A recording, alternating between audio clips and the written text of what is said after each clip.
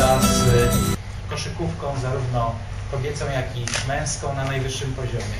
To wielki zaszczyt, świetna okazja promocyjna, ale też duże wyzwanie, aby tego typu imprezy odbywały się w mieście. E, To wydarzenie stanowi e, właściwie zwieńczenie pewnej piramidy, u której podstaw leży sport amatorski, szeroko rozwijający się sport e, w dzielnicach, a na szczycie są tego typu wydarzenia.